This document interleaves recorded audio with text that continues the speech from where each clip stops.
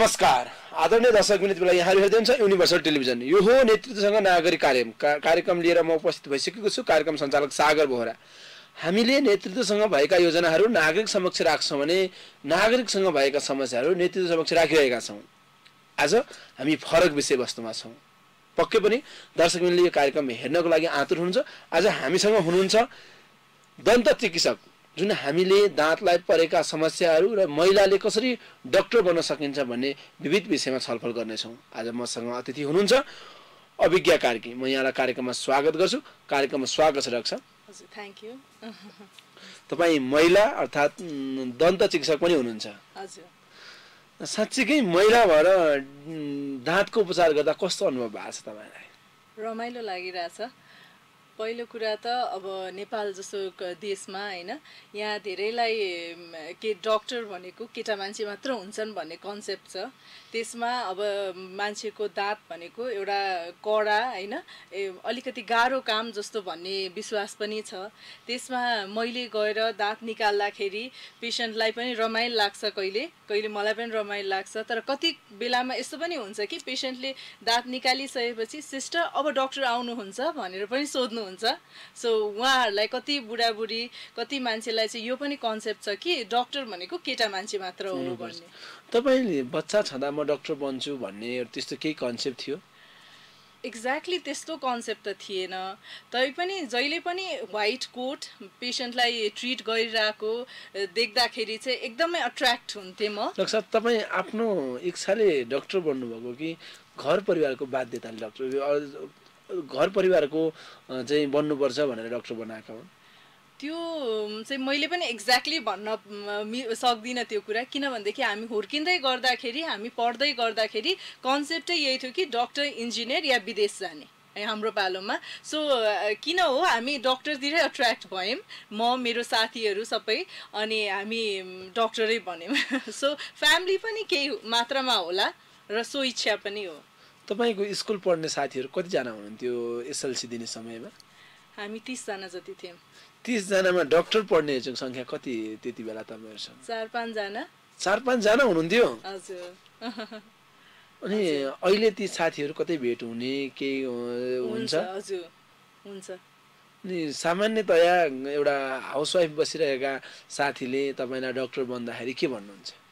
अब मान्छेको जीवनमा होइन हुर्किने क्रममा अब कसैको केही मिल्दैन होइन? सबै हामी राम्रो स्टुडेन्ट थियौँ राम्रो साथीहरू थियौँ कसैको केही बाध्यता केही कुराले कोही हाउसवाइफ बन्नुभयो होइन? त्यही पनि अहिले त कोही मिडियामै हुनुहुन्छ कोहीले टिकटकबाटै रमाइरहनु भएको छ होइन? सो सबैजना आफ्नो आफ्नो लाइफमा इन्जोय नै गरिरह जस्तो लाग्छ। जे हुनुहुन्छ है? हजुर हजुर। साथीहरूसँग भेट्ने ग्यादरिङ गर्ने चाहिँ हुन्छ लाग्छ? हुन्छ। स्कुल फ्रेन्ड्सहरू नै हामी ग्रुप छौँ। सो हुन्छ तपाईँहरू काठमाडौँभन्दा स्कुल पढ्दाखेरि भ्याली बाहिर घुम्न जानुभयो कि भन हामी त्यति गएनौँ। जानु भएन स्कुलले लगेको थियो मनकामना यस्तो होइन? म पोखरा पनि भर्खरै गएको लाइक फ्यु मन्थ्स ब्याक नै फर्स्ट टाइम गएको हो। सो त्यति हामी काठमाडौँ बाहिर चाहिँ गएनौँ। त्यति बेला तपाईँहरूको समयमा एसएलसी आएको काठमाडौँ र अहिलेको काठमाडौँमा के भिन्नता पाउनुहुन्छ? त्यति बेला सेफ थियो जस्तो लाग्छ पल्युसन कम थियो जस्तो लाग्छ धेरै जजमेन्ट थिएन जस्तो लाग्छ। अहिले मान्छेहरू धेरै एडभान्स हुनुहुन्छ होइन? धेरै जजमेन्टल हुनुहुन्छ। तपाईँलाई कहिले स्कुल पढ्दाखेरि पैसाको अभाव भन्ने चिज पऱ्यो कि परेन लाग्छ? स्कुल पढ्दा चाहिँ खासै पैसाको बारेमा त्यति बुझिएन। अब हामी स्कुल जान्थ्यौँ आउँथ्यौँ होइन? हामीलाई सर्टन लन्च प्रोभाइड हुन्थ्यो होइन? सो त्यति पैसाको कुरा पनि भएन। त्यस्तो अभाव पनि हामीले देख्यौँ प्रोटेक्टेडै भएर हुर्क्यौँ किनभने हाम्रो मेरो ड्याडी चाहिँ होइन? मेरो बाबा चाहिँ काठमाडौँमा आएर उहाँ बाहिरबाट आएर उहाँ सङ्घर्ष गरेर उहाँ स्ट्याब्लिस भएको फेज थियो। सो उहाँले चाहिँ हामीलाई प्रोटेक्ट गर्नुभयो के? भनेपछि बाबा काठमाडौँ नै इस्टाब्लिस भइसकेपछि तपाईँलाई सहज भयो। सहज धेरै सहज भयो काठमाडौँमा हजुर। पछाडि तपाईँ जब डेन्टल पढ्नको निमित्त तपाईँ बाहिर जान लाग्नुभयो त्यति बेला कुनै अप्ठ्यारो महसुस भयो कि भएन? त्यति बेला पनि अब फाइनेन्सियली अलिअलि त भयो किनभने मे म र मेरो दिदी थियौँ हामी। सो ऊ भर्खर अमेरिका गएको थियो। अनि अब मलाई चाहिँ धेरै टाढा हामी दुईजना मात्र छोरी भएको कारणले गर्दाखेरि चाहिँ विदेश जान त्यति इन्ट्रेस्ट नलागेको कारणले म नजिकै देश पढ्छु भन्ने थियो। सो मैले मेरो पेरेन्ट्ससँग चाहिँ सोधेको थिएँ एकचोटि कि म डेन्टिस्ट पढ्न चाहन्छु होइन? त्यसको लागि खर्च हुन्छ तपाईँ सक्नुहुन्छ भन्दाखेरि उहाँले म जसरी भए पनि सक्छु। पढ्ने हो भने म गर्छु भन्नुभयो। अरू त्यस्तो बर्डन चाहिँ हामीले फेस गर्नु परेन। अरू मेन्टल्ली हिंसात्मक कुराहरू अनुभव अनुभव भयो भने तपाईँलाई? त्यो चाइल्डहुडसम्म पढ्न जाने बेलसम्म चाहिँ खासै फ्यामिलीमा भएन किन हाम्रो सानो फ्यामिली थियो। तर म बङ्गलादेशमा पढेँ होइन? बङ्गलादेश चाहिँ एकदमै कन्जर्भेटिभ कन्ट्री थियो मुस्लिम कन्ट्री होइन? सो त्यहाँ चाहिँ अलिअलि फेस गर्नु पर्यो त्यहाँ ए हजुर पढ्यो त्यहाँ त्यहाँ चाहिँ महिलाहरूले जुन अनुहार देखाउनु हुँदैन भनेर भनिन्छ। तपाईँहरूलाई चाहिँ खुल्याम महिलाहरू बाहिरबाट जाने महिलाहरूले चाहिँ गर्न हिँड्न पाउँथे? हामी बङ्गलादेश गएको दुई तिन दिनपछि म र मेरो एकजना साथी थियो। अनि हामी साइबर अब त्यति बेला इमेल गर्नु पर्थ्यो घरमा। सो इमेल गर्न साइबर गएको थियौँ र त्यति बेला हामीले प्यान्ट र टी सर्ट लगाएको थियौँ होइन? अब त्यो चाहिँ नेपालमा एकदम सहज थियो त्यो कुरा होइन? त्यहाँ चाहिँ हामी जाँदाखेरि हामीलाई बाटोमा बाइकमा आएर गाली गरियो के? अब उहाँहरूको भाषा पनि हामीले बुझेको थिएनौँ त्यति बेला। पछि त हामीले सिक्यौँ पनि तर त्यति बेला बुझेनौँ हामीले त्यो भाषा पनि। र उहाँले त्यो गाली गर्दाखेरि चाहिँ अब हामी एकदम तर्स्यौँ त्यति बेला के गरेछौँ हामीले त्यस्तो काम भनेर। पछि हाम्रो सिनियरहरूले बुझाउनु भयो कि उहाँहरूलाई चाहिँ त्यो लुगा लाएको मन पर्दैन रहेछ प्यान्ट टी सर्ट होइन। उहाँहरूले त्यो अब मुख छोप्ने त्यस्तो अलिकति वुमनलाई रेस्ट्रिक्टै गरेर राख्नु हुनु भएको कारणले त्यस्तो हुँदो रहेछ त्यहाँ तपाईँले त्यहाँ मुख छोपेर बस्नुभयो? हामीले मुखै छोपेर त बसेनौँ तर प्रोफेसरहरूलाई बाटोमा हिँड्दा भेटियो जब सपोज मार्केट सपिङै गएको बेला आफ्टर कलेज टाइम होइन सपिङ जाँदाखेरि प्रोफेसरहरू भेटियो भने चाहिँ हामीले त्यो सल चाहिँ लगाइहाल्नु पर्थ्यो क्या ताकि उहाँहरूलाई आधा भन्ने होइन त्यो चाहिँ उहाँहरूले मार्क गर्नुहुन्थ्यो। सो त्यसले चाहिँ हामीलाई अलिकति मेन्टली होइन अब अरू कुरा पढाइभन्दा बाहेक अरू कुरामा ध्यान दिनुपर्ने भयो नि त। सो त्यसले चाहिँ असर पार्थ्यो। कलेजतिर चाहिँ त्यो थिएन। कलेजमा पनि उहाँहरूले अब लेडी प्रोफेसर हुनुहुन्छ भने उहाँले एकदम सिकाउनुहुन्थ्यो क्लास लिएरै होइन कि तिमीहरू यसरी बस्नुपर्छ केटी मान्छेले यस्तो लुगा लाउनुपर्छ यसरी मुख टोप छोप्नुपर्छ भनेर उहाँले सिकाउनुहुन्थ्यो र हामी नेपालबाट गएको फरेन स्टुडेन्ट भए पनि उहाँले एक्सपेक्टेसन राख्नुहुन्थ्यो। र त्यो कुराले चाहिँ हाम्रो भाइभामा केही न केही फरक पार्थ्यो त्यो कुराले। सो उहाँहरूलाई खुसी पार्नु पर्थ्यो। तपाईँहरूले गर्नुभयो? हामीले गऱ्यौँ। त्यो बसुन्जेल त एकदमै गऱ्यौँ हजुर नेपाल र जुन बङ्गलादेशमा महिलाहरूलाई गरिने व्यवहार चाहिँ के लाग्यो तपाईँलाई? नेपाल राम्रो लाग्यो या बङ्गलादेशमा चाहिँ के लाग्छ? नेपाल फार बेटर नेपालै एकदमै राम्रो हाम्रो यहाँ एकदम ओपन माइन्डेड हुनुहुन्छ होइन? त्यहाँ चाहिँ केटी मान्छेलाई अब कलेज पढ्न आउँदाखेरि पनि बुर्खै लाएर पठाउने होइन? अब हुन त अहिलेको समयमा धेरै एडभान्स पनि भएको छ मैले त्यस्तो भन्न पनि मिल्दैन। तर त्यति बेला हामी जाँदाखेरि चाहिँ उहाँहरूले बुर्खा लाउनुहुन्थ्यो आँखा देखाएर आउनुहुन्थ्यो होइन? र फोटो खिच्न पनि उहाँहरू जानुहुन्न थियो त्यत्तिकैमा क्लास फोटोग्राफ त्यो आँखा मात्र देखाएर खिच्नुहुन्थ्यो। सो त्यसले त काहीँ न काहीँ उहाँहरूलाई रेस्ट्रिक्टै गरेको भन्ने बुझिन्छ नि त। उहाँ उहाँहरूले अब सल ढाक्नुपर्ने होइन? त्यहाँका प्रोफेसरहरूले महिला अर्थात् जुन छात्रमाथि हेर्ने व्यवहार चाहिँ कस्तो हुन्थ्यो? उहाँहरूको चाहिँ एकदमै मेहनती हुनुहुन्थ्यो होइन। उहाँहरूको अब हामी कलेज पढ्न आउँदाखेरि त्यहाँ विभिन्न गाउँहरूबाट ब्याचलर्स पढ्न आउनुहुन्थ्यो। त्यो मध्ये कोहीले चाहिँ बङ्गाली मिडियममा पढ्नु भएको हुन्थ्यो होइन। सो उहाँहरूले पढ्दाखेरि चाहिँ त्यो अब हामीलाई सहज हुन्थ्यो किन हामी इङ्ग्लिस मिडियममा पढाए हुन्छौँ होइन। सो द देश देश भनेर पढ्दाखेरि उहाँले चाहिँ टिएचई द टिएचई द भनेर त्यो स्पेलिङै पढ्नु पर्थ्यो कि। सो उहाँहरू एकदमै मेहनती होइन अनि प्रोफेसरहरूको पनि कन्सेप्ट कस्तो भने अब त्यो मेडिकल फिल्डमा चाहिँ धेरै फेल गराइदिने के? अनि मेहनत धेरैचोटि फेल भएर पास भएपछि बल्ल राम्रो डक्टर निक्लिन्छ भन्ने उहाँहरूको कन्सेप्ट। होइन तर त्यसले गर्दाखेरि कतिको मेन्टल हेल्थलाई त असर पार्यो नि त किन मान्छेको अब कति एक्सपेक्टेसन हामी त एकदम सिरियसली लिन्छौँ नेपालमा जाँचहरूलाई होइन। सो त्यसले उहाँहरूले त्यो भाइभामा त्यो प्रेसर अरू भयो नि त त्यो त। म त एघारचोटि फेल भएर प्रोफेसर बनाएको थिएँ भने तँलाई एकचोटिमा पास गराउँछु त त के एक्सपेक्ट गरेर आछस् भनेर सोद्धाखेरि त त्यो त पहिल्यै मान्छेको कम्प्लेक्स भयो नि त त्यसले गर्दाखेरि। अनि हाम्रो नेपालमा चाहिँ अनिवार्य पास हुनुपर्छ। पास भएन भने समस्या हुन्छ। फेरि जुन विषय लाएर पास हुँदाखेरि चाहिँ अर्को काहीँ नबिकिने हो कि भन्ने छ। तर बङ्गलादेशको हकमा अर्थात् बाहिरको देशमा चाहिँ जति फेल भएर पास भयो उति चाहिँ राम्रो हो भन्ने छ नि। उहाँहरूको चाहिँ त्यो गर्दा धेरै वर्ष अझै एक्सपिरियन्स हुन्छ धेरै वर्ष अझै पढ्छ सो राम्रो डक्टर निस्किन्छ भन्ने उहाँहरूको कन्सेप्ट। तर सायद त्यो पनि राइट होइन। होइन? किनभनेदेखि जति एक्सपोजर भयो जति सेल्फ कन्फिडेन्स भयो त्यति राम्रो डक्टर निस्किने हो नि त। डाक्टर साहब तपाईँ महिला पनि डक्टर पनि। जुन भनिन्छ मै नेपालमा अर्थात् बाहिर पनि महिलाहरू धेरै हिंसामा परिन्छ भन्ने छ। तपाईँ कहिले पनि यो हिंसामा पर्नुभयो कि भएन? म त्यस्तो खासै परिनँ। कुनै केटा मान्छेले गलत नजरले हेर्ने आदि इत्यादि गर्ने। गलत नजरले हेर्ने भन्दाखेरि पनि कसैले अब मेसेज गर्ने होइन? कसैले केही भन्ने त्यो त सामान्य भयो। तर त्यस्तो एकदम अगाडि नै त्यस्तो चाहिँ पर्नु पर्यो मेसेज गर्दाखेरि तपाईँको कसैले देख्ने गरी कसैले तपाईँको आफन्तसँग अप्ठ्यारो पर्ने गरी कसैले मेसेज गरेको छ? त्यस्तो चाहिँ खासै छैन। छैन है।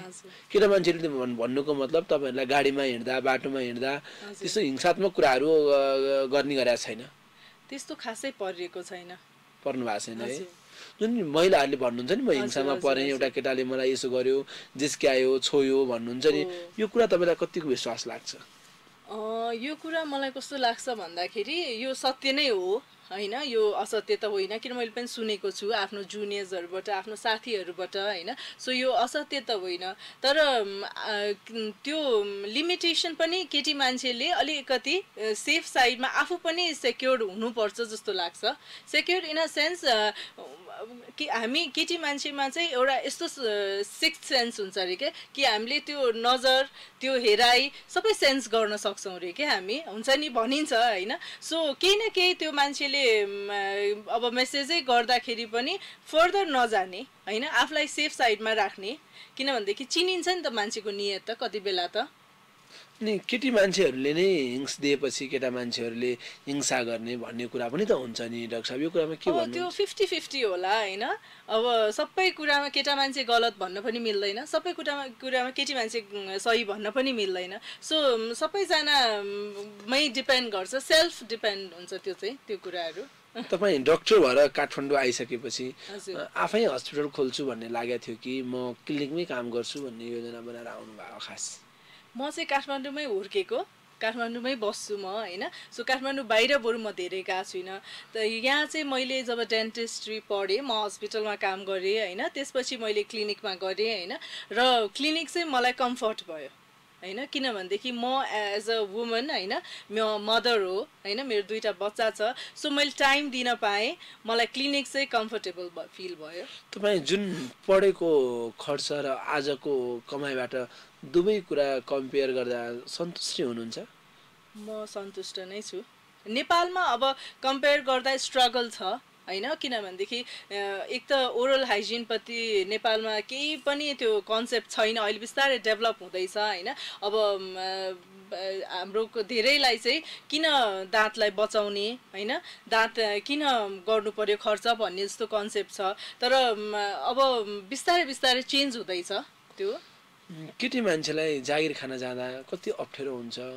अर्थात् बच्चा लिएर जानुहुन्छ कि बच्चालाई हेर्ने मान्छेलाई के गर्नु भएको छ तपाईँले मैले बच्चाहरू अहिले त मेरो स्कुल जान्छ सो सहजै छ होइन। तर सुरुमा सानसानो हुँदाखेरि चाहिँ अलिक गाह्रै भयो। किनभनेदेखि अब दुइटा सँगसँगै एजको थियो सिक्सटिन मन्थ्स डिफ्रेन्ट थियो मेरो दुइटा बच्चा होइन। सो अब दुईजना दुइटा क्लासमा थियो स्कुलले इन्भाइट गर्थ्यो दुइटा फङ्सनमा जानु पर्थ्यो। सो एकदम कुनैसँग संस्थासँग आबद्ध भएर काम गर्दाखेरि सधैँ छुट्टी पनि लिन नमिल्ने कहिले बच्चा बिरामी भइदिने होइन। र फर्स्ट मदरलाई नै कल आउने त्यसले गर्दाखेरि चाहिँ अलिकति गाह्रो चाहिँ भयो तर बिस्तारै म्यानेज हुँदै गयो। अहिले तपाईँले जुन जानुहुन्छ बिमारी रचाउनुहुन्छ हजुर। जाँदा जाँदाखेरि जुन पेसेन्टले चाहिँ केटी मान्छेले पनि उपचार गर्छ र भनेर भन्दैन? अहिले धेरैले त भन्नुहुन्न तर कोही कोही चाहिँ अपोइन्टमेन्ट लिँदाखेरि नै केटा डक्टर कि केटी डक्टर भनेर सोध्नुहुन्छ होइन? अनि उहाँहरूलाई चाहिँ डक्टर भनेको केटा अनि त्यसपछि केटाले गरेको काम चाहिँ अलि राम्रो हुन्छ भन्ने कन्सेप्ट चाहिँ छ अझै पनि। त्यो उहाँहरूसँग तपाईँले गफ गर्नु भएको छ जुन उपचार गर्दाखेरि भन्नुहुन्छ। हामीले एउटै पढेका हौँ बराबरी काम गर्न सक्छौँ भनेर बुझाउनुहुन्छ। त्यो पेसेन्टलाई बुझाउँदाखेरि चाहिँ मेन कुरा अब कामले बुझाउँछ। होइन? उहाँलाई दाँत भन्ने कुरा चाहिँ कस्तो छ भन्दाखेरि मान्छे नदुखिकन युजली आउँदैन। होइन एकदम दुखेपछि बल्ल डेन्टल क्लिनिकमा आउने हुन्छ नेपालमा चाहिँ होइन। सो जब त्यो पेसेन्ट आउँछ उहाँलाई अब एकदम दुखेको हुन्छ उहाँलाई दुखाइ कम हुन्छ या उहाँको दाँत मैले निकालेर पुरै दाँत आएको छ है तपाईँको ल हेर्नु है भनेर देखाउँछु अनि उहाँ मबाट इन्सपायर हुनुहुन्छ क्या ओहो हुँदो रहेछ भन्ने टाइपको त्यसपछि सो कामले नै त्यसलाई आन्सर गर्छ। पारिश्रमिक पाउने कुरा क्लिनिकमा काम गर्नुहुन्छ तपाईँ। पारिश्रमिक पाउने कुरा। केटा डक्टरलाई दिने पारिश्रमिक र केटी डक्टरलाई दिने पारिश्रमिक फरक छ कि एउटै हो? अब डिफ्रेन्ट डिफ्रेन्ट छ होइन त्यो कुरा त।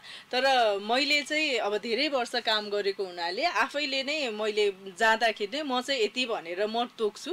सो उहाँहरू अग्री गर्नुभयो भने म गर्छु गर्नु भएन भने म गर्दिनँ। काठमाडौँको कतिवटा क्लिनिकमा काम गर्नुहुन्छ?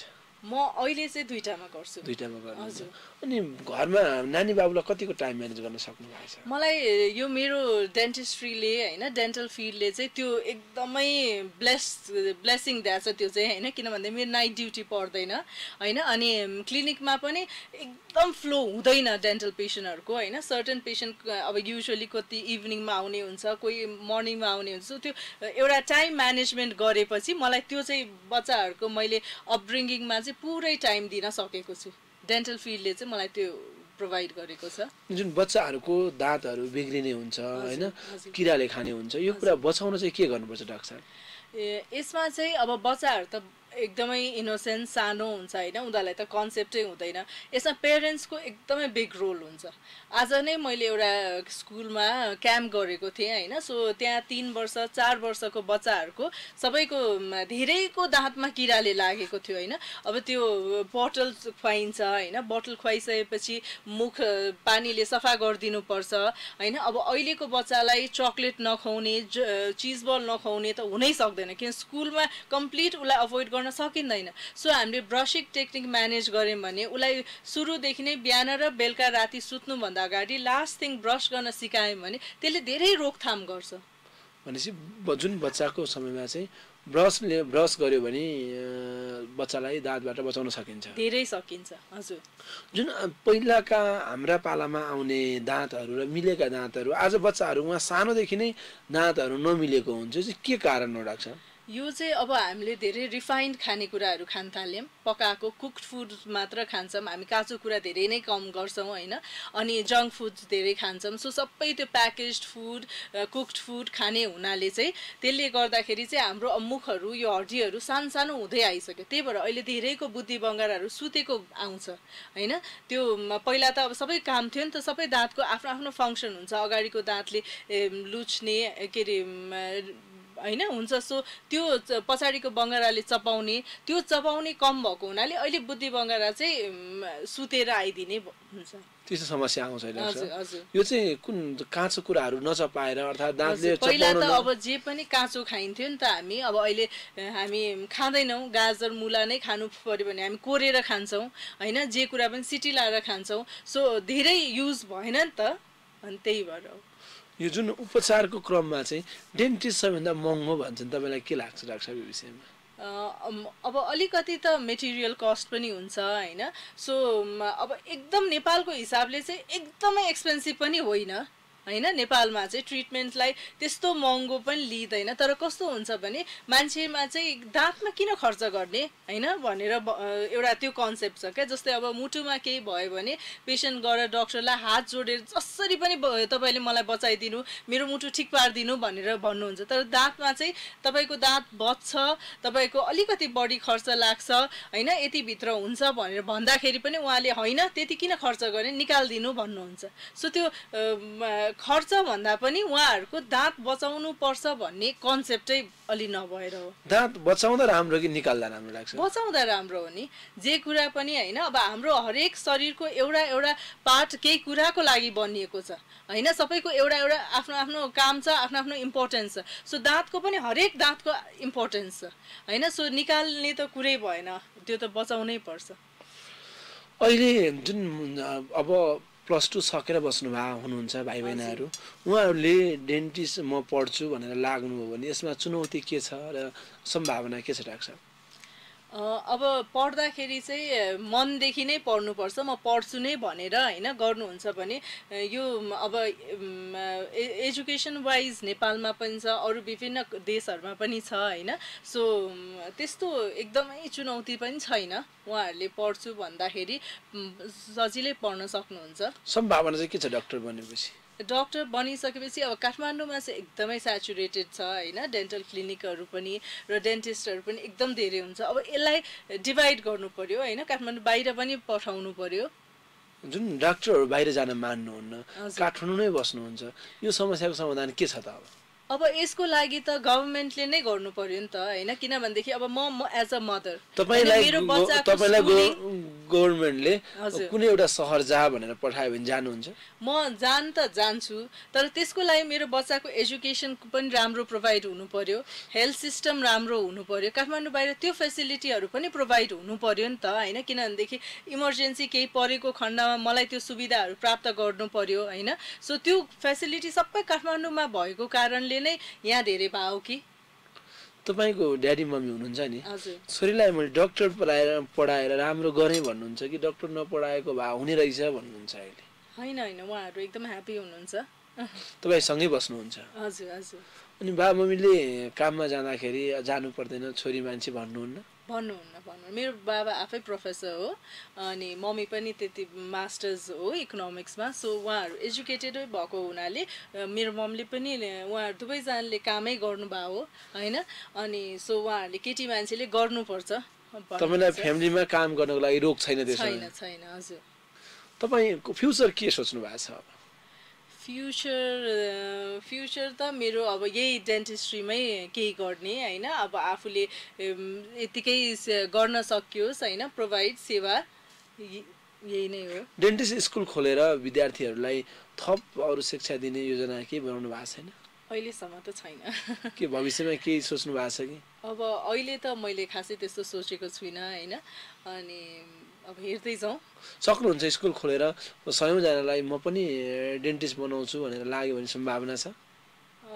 अब त्यसको लागि प्रक्रिया होला होइन? केही होला तर अब मैले चाहिँ अहिले त्यस्तो केही पनि सोचेको छुइनँ। सोच्नु भएको छैन। क्लिनिकमा जाने आफ्नो ड्युटी गर्ने मात्रै गरिरहनु भएको छ। अब मेरो त्यो बाहेक अरू पनि रेस्पोन्सिबिलिटी छ नि त। एज अ मदर म मदर हो होइन?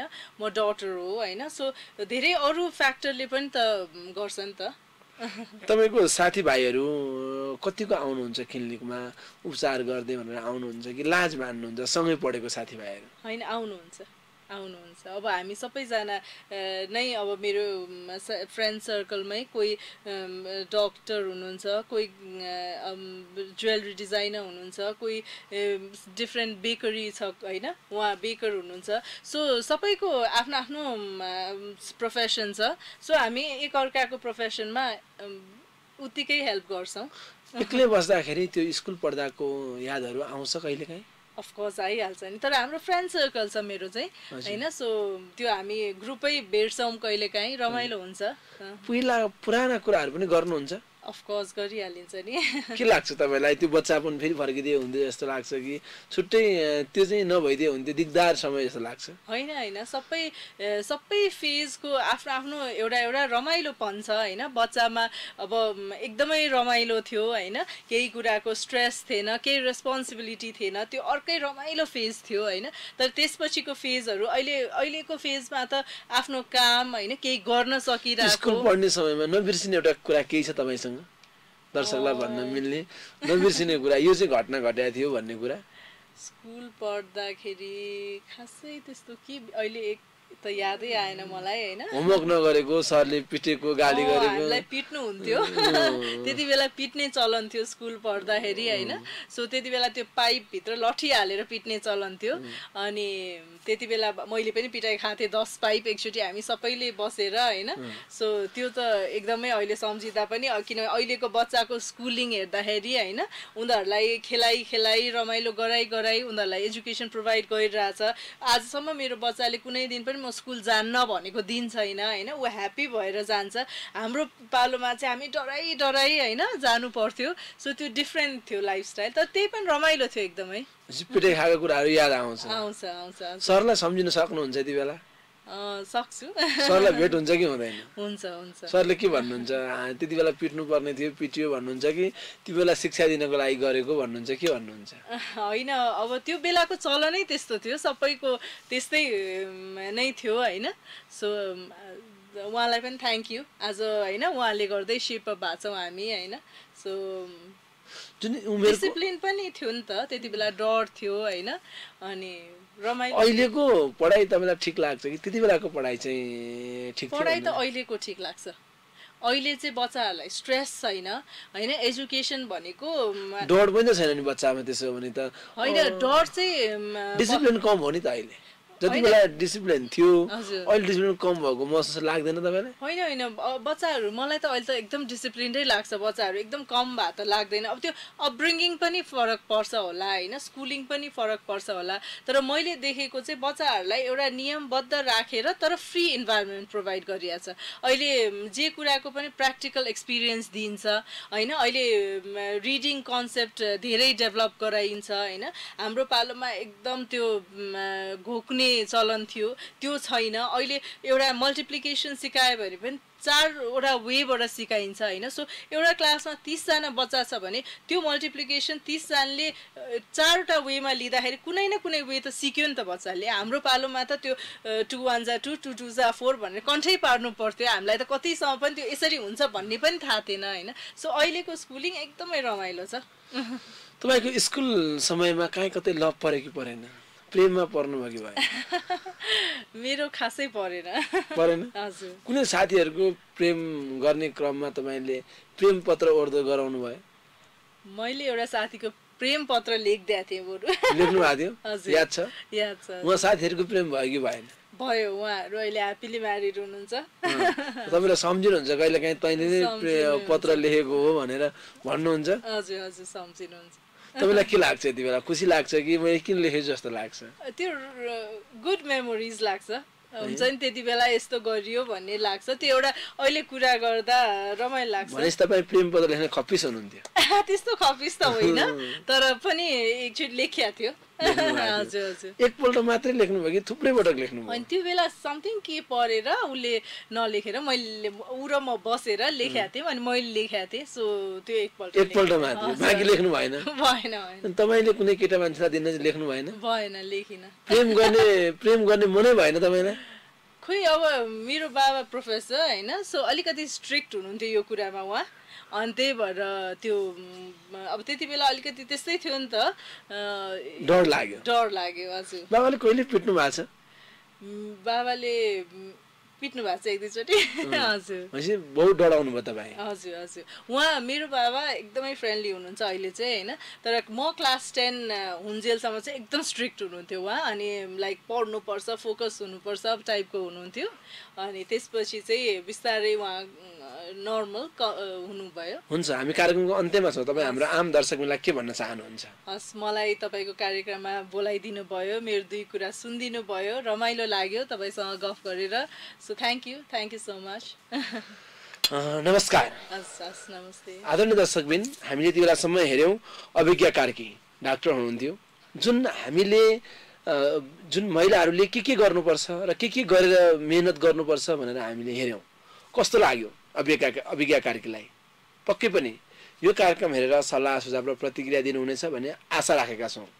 तपाईँको सल्लाह र प्रश्नले थप उहाँसँग हामीले प्रश्न राख्न सक्छौँ। अर्को कार्यक्रममा तपाईँकै प्रश्न हामी डाक्टर अभिज्ञा कार्कीलाई राख्नेछौँ। कार्यक्रम कस्तो रह्यो? सल्लाह सुझाव र प्रतिक्रिया दिन चाहिँ नभुल्नुहोला भन्दै कार्यक्रमबाट म बिदा हुन्छु। हेर्दै गर्नुहोला युनिभर्सल टेलिभिजन